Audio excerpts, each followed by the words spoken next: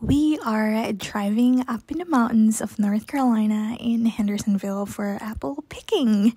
It's a 47 minute drive from our place in Greenville, South Carolina. We usually go to Skytop, Granddad's, and Stepp's but this time we are going to Stepp's Hillcrest Orchard. I'm so excited to pick some apples, pumpkins, sunflowers, to have some apple turnovers, apple and pumpkin donuts, apple cider drinks, and to just enjoy the mountain views. This farm has 6,000 apple trees on 38 acres with over 20 varieties. Let's go ahead and show you around.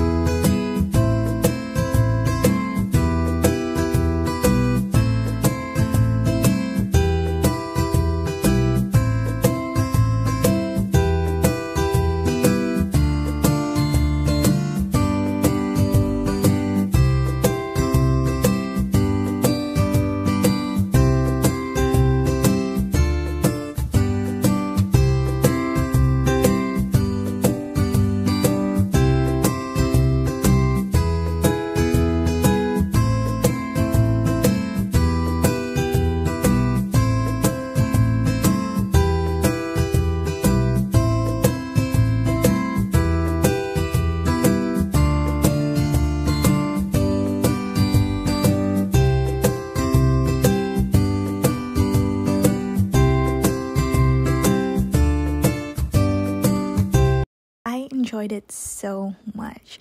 We just got home from the orchard. As you can see here, I'm washing these apples that we picked. We love some golden delicious and red delicious. It's the time of the season to have that fresh apples at home to eat, especially when you picked it your own to enjoy.